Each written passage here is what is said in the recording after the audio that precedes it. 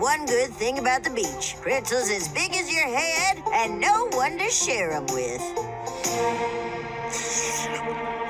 You're gonna make me so thirsty.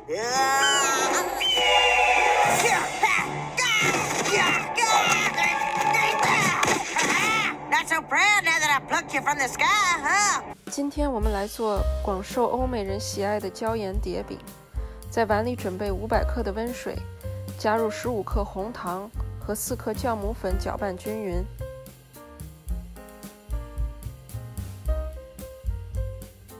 另外，用一个大盆加入500克的面粉、10克的盐和30克的黄油。黄油切成小块儿，有助于后边揉面时更容易混合均匀。将最先混合好的水跟盆中的盐和黄油搅拌在一起，准备和面。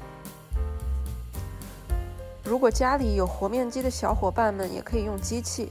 我个人比较喜欢用手工，大概三到四分钟就可以混合均匀，手感软而不粘，有韧性就好了。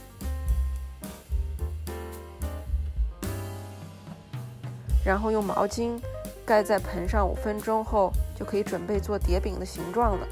可根据个人喜好来选择叠饼的大小。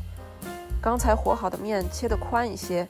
揉成条的时候会比较粗，这样叠饼做成就会比较大。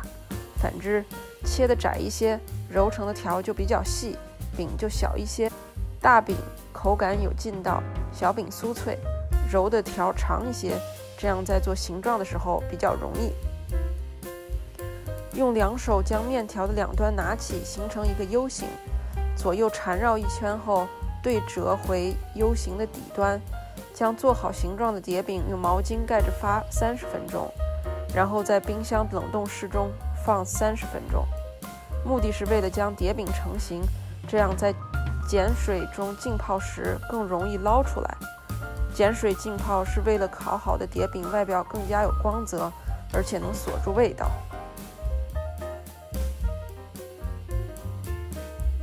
在一个大盆中放碱水和水，比例是一比十。这里我用的是三十毫升的碱水和三百毫升的水，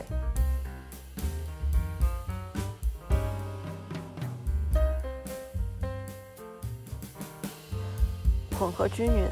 将冷冻室中的蝶饼浸泡在盆中五秒钟，拿出来，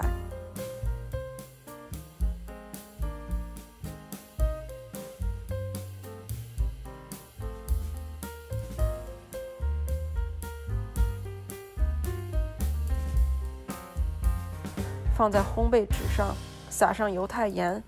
这种盐颗粒较大，在烘焙时不会完全溶解在饼中，而且白白的结晶会使叠饼更加好看。烤箱设置在三百五十五华氏度或一百八十摄氏度。根据饼的大小，烘焙的时间基本上在十五至三十分钟，直到外表金黄就烤好了。